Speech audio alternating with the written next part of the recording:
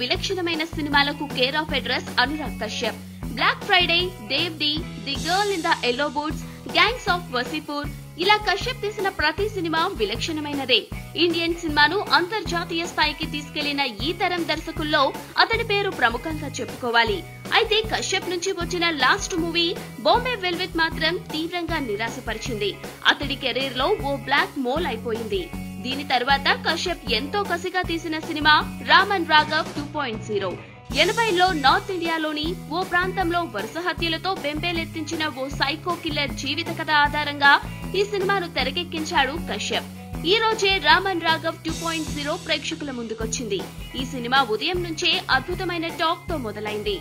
Kashyap mark కథా కథనాలు ఈ సినిమాకు ప్రధాన ఆకర్షణగా నిలిచాయంటున్నారు. నవాజుద్దీన్ సిద్దికి సైకో పాత్రలో చెలరేగిపోయి నటించగా అతడి పాత్రను కథనాన్ని కశ్యప్ అద్భుత రీతిలో తీర్చిదిద్ది ప్రేక్షకుల్ని మెస్మరైజ్ చేశాడట. సైకో పాత్ర చేసే ఘోరాల నేపథ్యంలో కథనాన్ని ఉత్కంఠభరితంగా నడిపిస్తూ ప్రేక్షకుల్ని భలేగా థ్రిల్ చేశాడట కశ్యప్.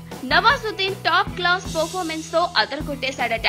రెగ్యులర్ సినిమాలకు అలవాటు పడ్డ వాళ్ళకు Raman Raghav two point zero పెద్దగా కిక్కివ్వకపోవచ్చు కానీ కశ్యప్ మార్క్ వైవిధ్యమైన సినిమాలు ఆశించే వారిని మాత్రం ఈ సినిమా మెస్మరైజ్ చేస్తుందంటున్నారు. ఈ ఏడాది బాలీవుడ్లో వచ్చిన బెస్ట్ మూవీస్లో ఇదొకటని అంటున్నారు.